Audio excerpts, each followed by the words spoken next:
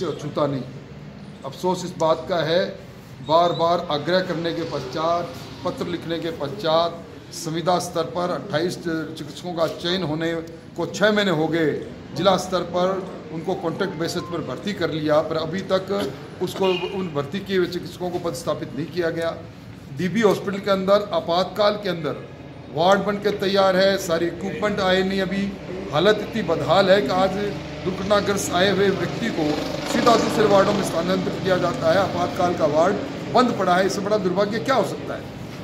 दूसरा एक आयुर्वेद अस्पताल आपके शासनकाल में नौ करोड़ में बना था। कांग्रेस आने के बाद में उसको वहीं ठंडे बस्ते में डाल दिया।